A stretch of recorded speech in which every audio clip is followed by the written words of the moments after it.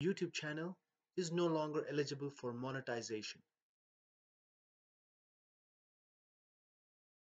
Hi, my name is Durgesh and I just got an email from YouTube creators team. It is a simple policy change that will affect me and the thousands of other YouTube channel owners. I'm here to discuss the good, the bad, and the ugly about the new terms and conditions put out by YouTube team. Wait a second, is there any good in this news? Well, there is yes and a no, obviously. So if you think about starting a new YouTube channel or already a YouTube channel owner, uh, you realize that it is very hard to make videos, edit them, properly publish them, you know, do all the thumbnails and stuff like that while making sure you're doing all the right things um, on getting more subscribers, more views, uh, and not infringing on anybody's um, anyone's copyright. Um, the new YouTube policy enforces this and makes you work double. Although YouTube gave these owners 30 days, so there is still a chance you can continue keeping mon your monetization. Uh, maybe 30 days will push you to jump hoops that you have been just procrastinating. Well, that's the positive I take uh, from this whole thing.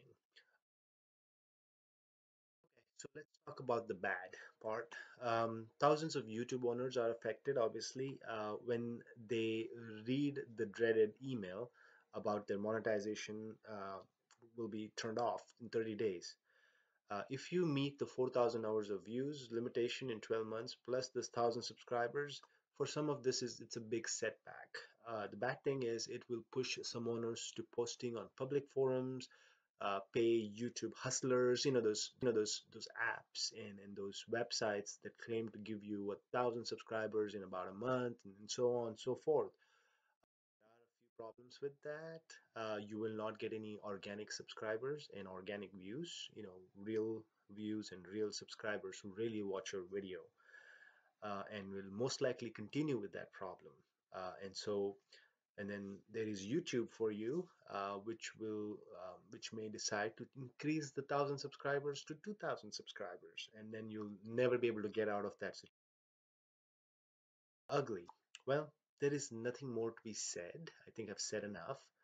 YouTube uh, which is really Google has done it again. When YouTube first began it was limitless and the boundaries is what you set uh, or what you made of them but I also see a chance, an opportunity um, uh, for making better videos. And so I, I want to kind of propose this to everyone out there, you know, be positive, um, make more videos, uh, better videos, you know, do all the right things, you know, Google for what's the five things to do to make a video stand up, you know, do whatever it takes, but, you know, put your energy into in that direction.